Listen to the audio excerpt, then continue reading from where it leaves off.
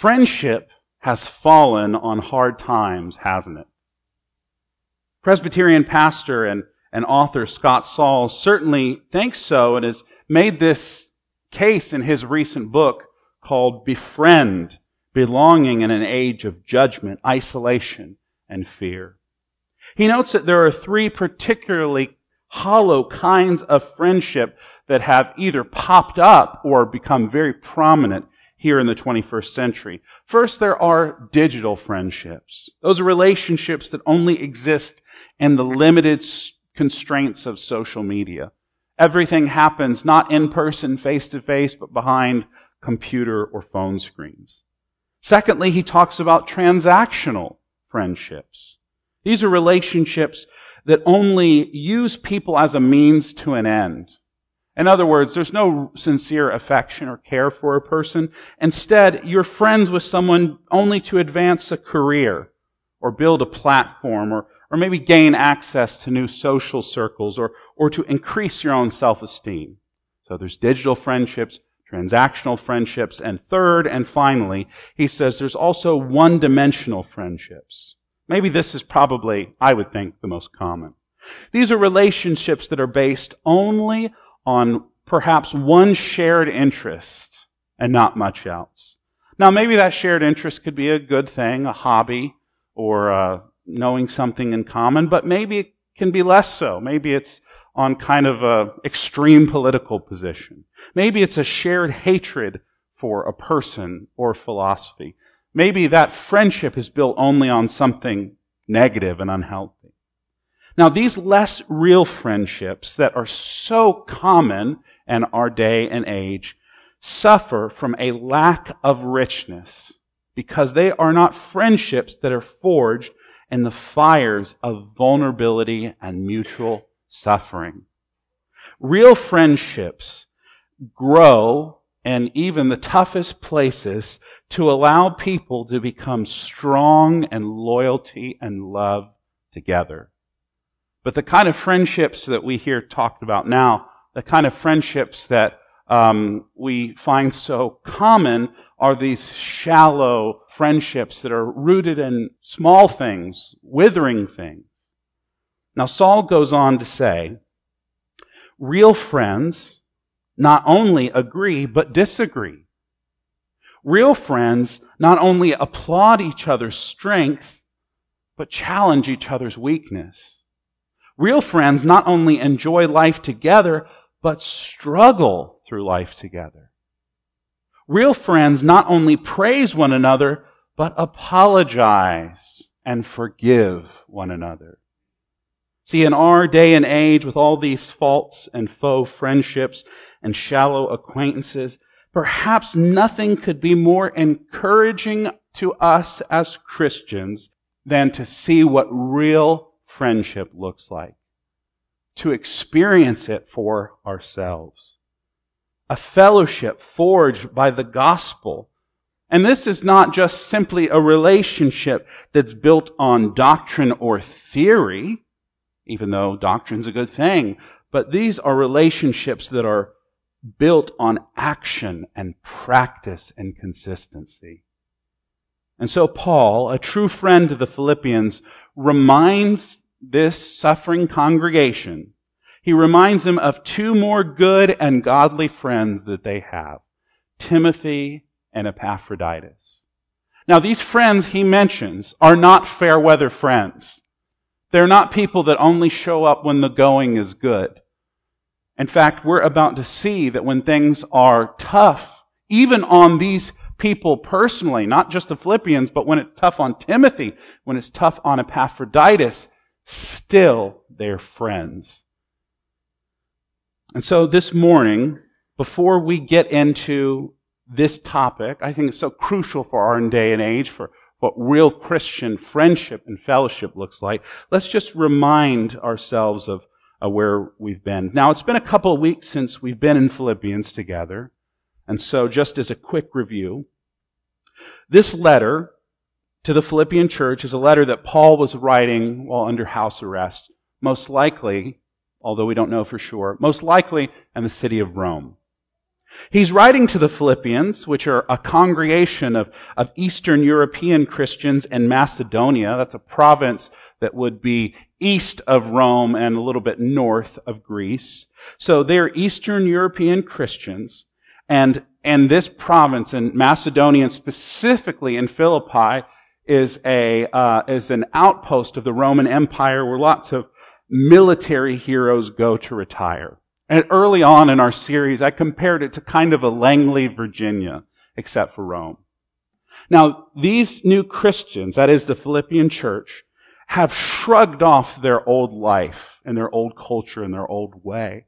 See, in the city of Philippi, there was a big culture of, of greed and a domineering spirit and a pride and its militarism and even its brutality. But they've shrugged all that off for a new life in Jesus a subversive, countercultural, radical life of love, of unity, of compassion and generosity. Now, they have so shaken up their identity because their identity's been so shaken up in Jesus that they're suffering for it. That they're being persecuted and pushed back against. So Paul is writing this letter, this loving, gentle letter to encourage them to keep on doing the good work that they're already doing. To keep on in the good work that God has started in them and has promised, no matter how tough things get in their daily life, He'll bring it to completion. Now, He's already given them, and this is the core of the letter, He's already given them Jesus as their prime example. Not only is Jesus the one whom they worship, Jesus is the center of all reality. Jesus is the only holy and glorious one, but he shows them how they, now transported into the life of Christ, can live like Jesus and be like Jesus and his humility and love and grace. And so he hopes they'll continue in the trajectory that Jesus has started for them. That is to be a kind of people that are um, uh, a people of love, uh, and a, not just a love that's you know a, a shallow. Oh man, I love McDonald's. Oh man, I love cable news, that kind of thing. I but but love that is sincere, love that is self-giving, and love that is neighbor loving. And so now, after he's given them Jesus as the prime example, he's giving them two more practical examples in Timothy and Epaphroditus. Now, Timothy and Epaphroditus are just like them. They're normal people. They're two forgiven sinners, two ordinary citizens. And in these two, he's hoping to encourage them in Jesus Christ to be friends with one another to the end. And so that's what brings us to our first section here today. Let's look at these first uh, five verses together, verses 19 through 24. Now, the first example he gives of this kind of friendship is Timothy. Now, he says he hopes, he hopes not in circumstances, he hopes not in his own clever plans or schemes, but rather he says he hopes in the Lord Jesus, the surest foundation you can put your hope in. He hopes in the Lord Jesus that he can send Timothy on a round trip to Philippi so he can be encouraged by Timothy's report on how this church is doing. Paul is assuming they're going to receive his letter and act on it accordingly. To obey the, the, the wisdom that he's given them that's come down on high from Jesus. And so he's expecting that Timothy will go to this church and see that they've received Paul's letter and responded to it by growing in love for one another and trust in Jesus Christ.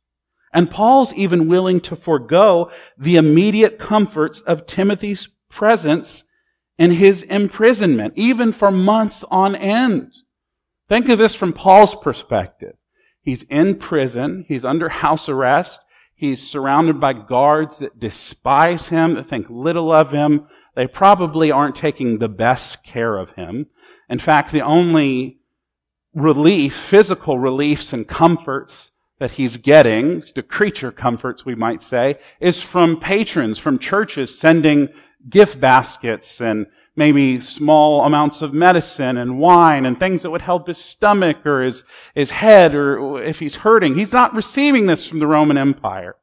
So here he is in isolation and Timothy is there to help him and he's willing to forego having Timothy be there by his side if it means that Timothy can go to the Philippians and bring back news of how this beloved little church, just like Paul, is keeping on, keeping on.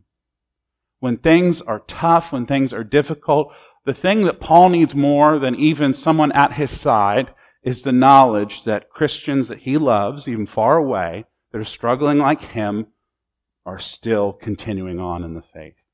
Doesn't it encourage you? That's why when we have missionaries come here to our church and we hear the reports of what God is doing around the world, isn't it encouraging to you? Maybe it doesn't even feel like your spiritual life has been that great this week, but to hear what God is doing in people that you love far away is an encouragement to you. It, it rekindles your own faith. I'm convinced that's what Paul is hoping for here. But here's what I think is really especially interesting about this. It's not just what Paul feels, but what Timothy does too. Because it's not only Paul that loves the Philippians, but Timothy loves them as well. In fact, Timothy is a flesh and blood example of the kind of Christian character that Paul hopes the Philippians will grow into. Now, I think he thinks that they're either almost there or, or, or, or there and just need uh, to be strengthened and confirmed in that work. But he uses Timothy, I think, as an example of what he hopes that everybody at the church of Philippi might be like. In verse 20, he calls Timothy like-minded. Now, he means that in such a way, not just doctrinally, but like-minded in such a way that no one else no one will care about their interest like he will. So when he talks about Timothy being like-minded, that is a like-mindedness with action behind it.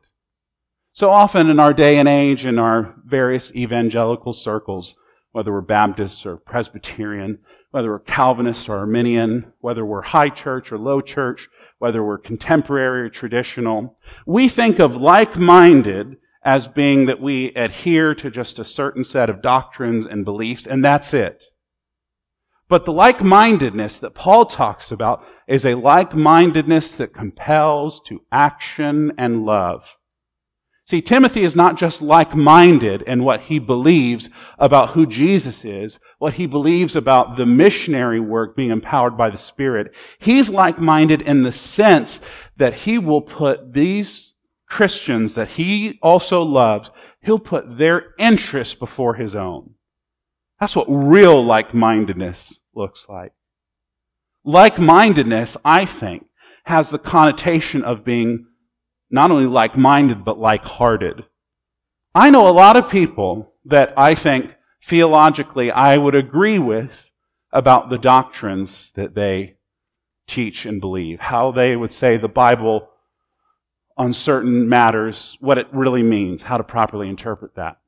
But I know a lot of people that I would agree with that I would not get along with very well because I've seen maybe some selfish qualities in them, or I've seen how that uh, being a, a good Christian just means to be theologically pure, to have intellectual pursuits, and have no love or compassion for the local church or for the, the neighbors to whom we're supposed to be ministering. Like-minded for Paul means that Timothy cares about their interest before he cares about his own, which is what Paul's written about earlier in Philippians chapter 2. But see, what Paul goes on to say is that while Timothy puts their interest before his own, he says that's not what the world normally looks like. He says everyone else does, uh, not, or, or looks after not the interest of Christ Jesus, but their own interests. I think he's sweeping very broadly when he says this. Whether they're religious or not, the way the world works is that people are interested in their agendas and their priorities and not looking for the well-being and the honor of one another. Paul's words in Romans chapter 3 ring out to me here. You remember what he says there after talking about, for these three chapters, about Jewish people that are been, have grown up under the law, and he talks about the pagan Greek people that have been nowhere close to God's covenant.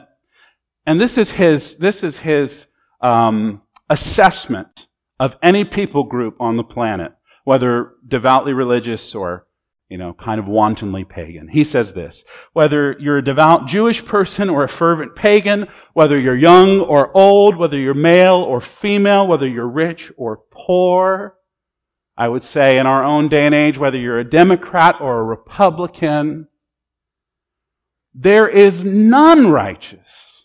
No, not one. No one truly understands the divine mind. No one really seeks after God and His kingdom. The human heart, we learn from all over the scriptures, will always choose to glorify itself over glorifying God. Will always choose to love our own ego and pursuits instead of choosing to love our neighbor. But Jesus Christ, God in the flesh, God with us, has begun to change that in the human race. See, it's nothing that, not, not uh, there's nothing in the Roman Empire or in the United States of America. There's nothing in us being educated or having a lot of money. There's no scientific advancements. There's no artistic achievements that have made us into a kind of people that would love God and love our neighbor. What Jesus says is the whole of the law. The thing that has achieved that in us is Jesus Christ for us. He's ground zero for us becoming entirely different. See, he's changed that in Paul. Paul was a fierce persecutor of a church. He would have uh, big brutish soldiers drag women by their hair out through the streets and throw them in prison, lock kids up in prison. That's the kind of person Paul was and his religiosity. And yet, Jesus has changed to where Jesus has changed Paul in such a way that he'll be in prison if that means that his friends can go free. Paul didn't do that in himself. The gospel of Jesus Christ did that in Paul. And it does the same thing in the Philippians. And now it's changing the heart of Timothy. And brothers and sisters, this morning, I'd like you to know that the gospel of Jesus Christ in you, no matter what kind of morning you've had, no matter what kind of week, month, or year, or lifetime you've had, the gospel of Jesus Christ can do this work in your heart too. See, Timothy, Paul says in verse 22, has proven his character. He stood by Paul's side through thick and thin. He's been a spiritual son to Paul, his spiritual father. He served in gospel ministry not only as a partner with Paul, but as we've learned earlier in this book, as a partner of God himself, as a partner in his grace and his gospel. See, let's look at just a quick biography of, of Timothy. I'll just go over it quickly for us. Timothy rejected the pagan upbringing of his father and instead embraced the godliness, the humility passed down to him by his mother's side of the family. His grandmother Lois, his mother Eunice. He's worked with Paul in Macedonia and Corinth, and he even pastors a congregation in Ephesus. He's helped Paul write 2 Corinthians, 1 Thessalonians, Philemon, and even probably scholars think parts of this book too. And although his reputation and his resume precede him, Timothy would put the Philippians' interest above his own always. Even though Paul speaks of him so highly, he's got a reputation all over the, the Roman Empire of being a Christian leader, and yet Timothy looks after even the least and lowly in the Philippians before he even thinks of himself. See, this is not only what true Christian leadership looks like. I would go even further to say this is what true Christian discipleship looks like even in people who are not leaders. Every Christian leader should look like this. But every Christian, period, can look like this. To be humble, to love, and to produce steadfast unity. And so Paul plans to send this Timothy as soon as he can spare him. And in verse 24, he's confident in the Lord that this friend that he's sending will precede his own return to Philippi so he can minister to them as well. So here comes Timothy to the Philippians, a friend to the end. Now let's talk about this next person that Paul has mentioned. Not just Timothy, but Epaphroditus. Now Paul has already sent another friend to them, the very one who delivered and read and explained this letter. Epaphroditus is his name. And verse 25, Paul says it was necessary to send him, that is Epaphroditus, and he gives them these honorariums. He says, his brother, his co-worker, and I'm convinced he uses this last term, fellow soldier, because that would make sense to them in this uh, military outpost. But he's not just saying that he's a you know fellow soldier of the Roman Empire. What Paul is really saying is that Epaphroditus is his brother and gospel arms. See, just like Paul, who was suffering imprisonment, and just like Timothy, who was prioritizing the Philippians' well-being over his own, so comes Epaphroditus, a true friend to these people.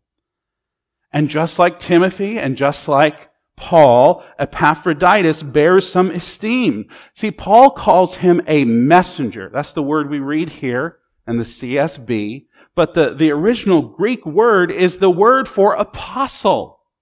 And so Paul calls him uh, an apostle, the same term he uses for Silas or Silvanus, as he's sometimes called, the same term he uses for Apollos and Barnabas and Junia, these brothers and sister appointed by the Lord to come bearing the good news of the gospel. That's a high duty and honor to be called a messenger or an apostle of the Lord Jesus Christ.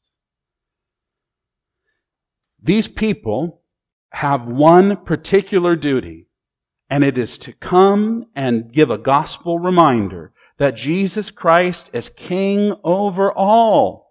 And in his faithful righteousness, the people are free to come and to feast at his table. That's the message that these apostles get to bear. Now, Paul sees Epaphroditus as an equal, putting him uh, on level playing ground with this apostolic task. And yet, in verse 26, we read that he has been longing for the Philippians, and even more than that, he has been distressed because they've been distressed. So here he is, uh, uh, a well-known preacher and pastor and perhaps bishop in the early Christian church. And yet, and he's been going through some kind of sickness, and yet the worst thing to him has not been his own sickness, but the fact that, that they've been distressed about his sickness. Now, this is not just a minor cold he's going through or a simple stomach bug. Paul says that whatever Epaphroditus had, it almost killed him. He was on death's door. And yet his concern was not even for his own health first. It was for how the Philippians are taking the news that he's unwell. That's pretty incredible, I think. Whenever I've been really sick, I'm not thinking about how any of you might feel about how I'm feeling. I'm thinking about me. And yet, what the gospel has done in Epaphroditus has made it to where his heart breaks, not for himself when he's at a disadvantage, but for others. And yet, through all that, the scriptures tell us he, like Timothy, is so much more interested in their good. That he was more upset, that they were upset that he was dying. Now that Maranatha, I'm convinced, is not the way of the world. Nobody can live like that through sheer religious force of will. No, that kind of spirit, that kind of attitude, that kind of action is the life of Jesus Christ worked out in us for the sake of one another. I can almost hear this next part through Paul's happy tears. He said, while this world only had death for Epaphroditus, however, God had mercy on him. Not only on him, but Paul says God had mercy on me by sparing Epaphroditus' life. He spared me sorrow upon sorrow. And by extension, he's had mercy on you, Philippians, because he has spared you of the sorrow of losing him. And for all these reasons, that Epaphroditus is longing to serve them as their apostle, that he is in his deathly sickness, healed by God, that he was distressed and they're distressed. For those reasons, verse 28, Paul has eagerly sent Epaphroditus to them so they can rejoice in his presence and his ministry. So they can be less anxious and he can be less anxious about this beloved brother and friend.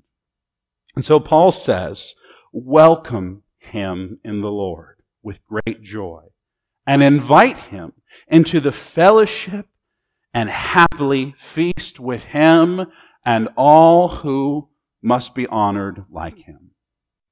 Treat this servant and every servant you see come in the name of the Lord with high honor because they come to serve you. They've laid aside their own, uh, their own interests, their own conveniences, their own ambitions for your sake. Remember in all this too, Christ came to serve us all humbly, meekly, taking on all our troubles and sorrows, all our weaknesses and sins in himself on the cross so that perishing with him under God's wrath and justice, instead he might shed mercy on all who believe.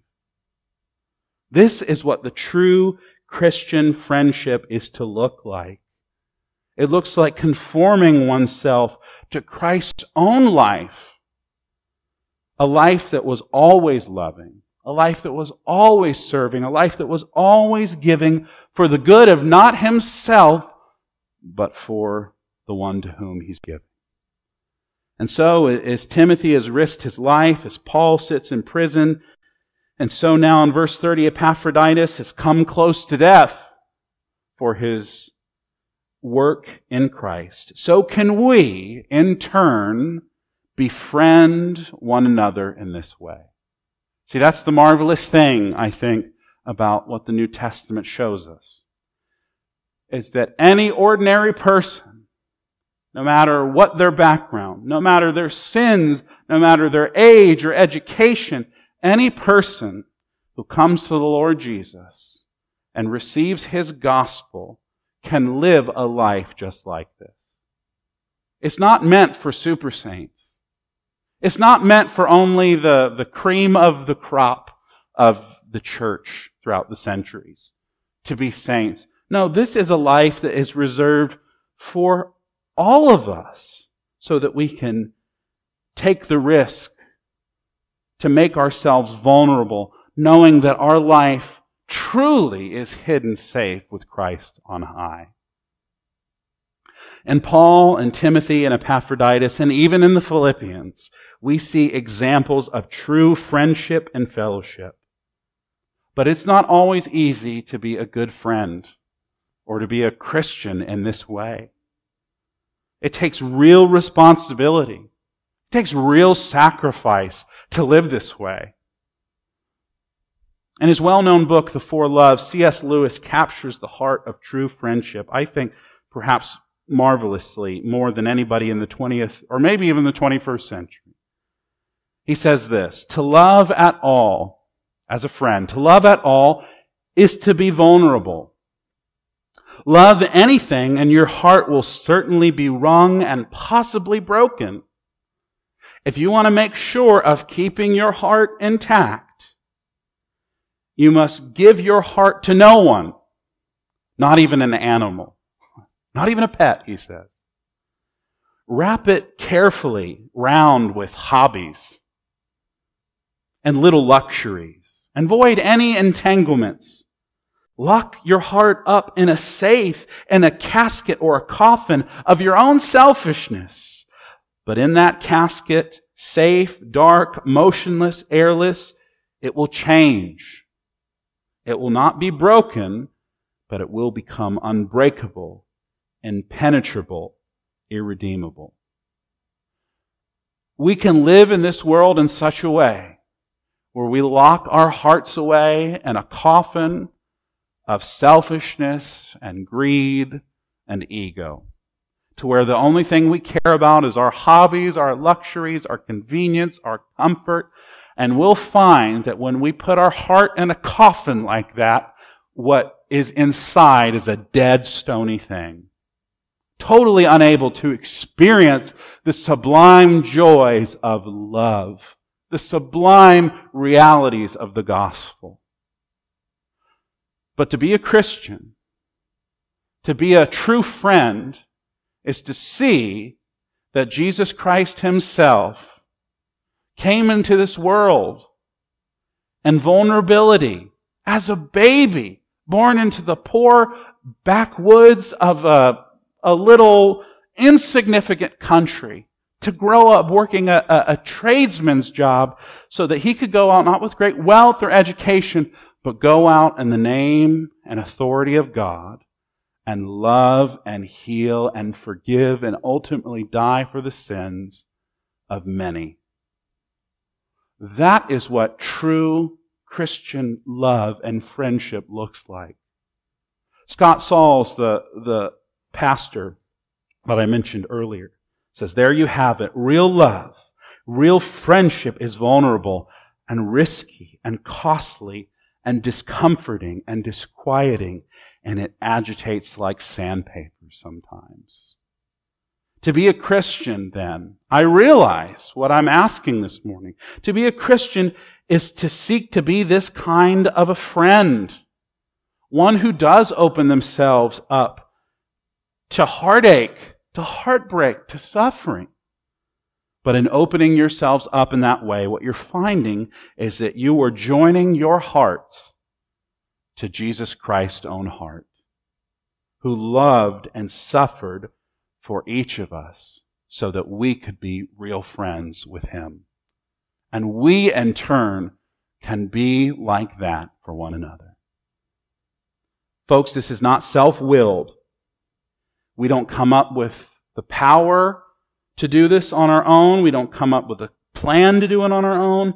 It's in Christ that we fill up what we, ch- what each other are lacking, as Paul says in the last verse.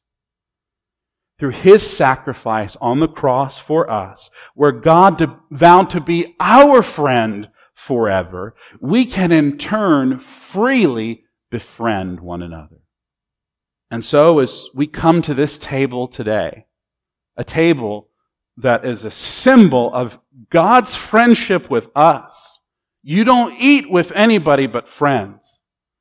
As we come to this table today, a table of friendship and fellowship, forged on the rough wood of the cross.